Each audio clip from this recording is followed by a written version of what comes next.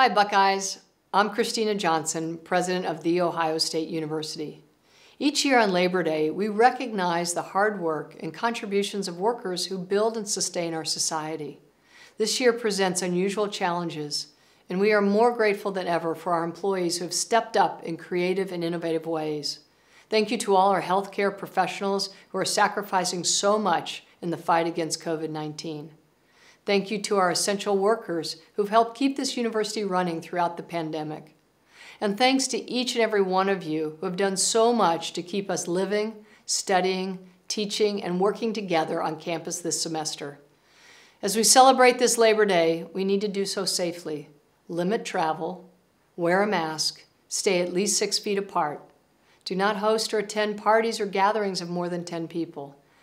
So many have worked so hard so that we can continue to be together. Please stay safe, find creative ways to celebrate Labor Day, and honor the efforts of your fellow Buckeyes. If each of us does our part, we can do this together as Buckeyes.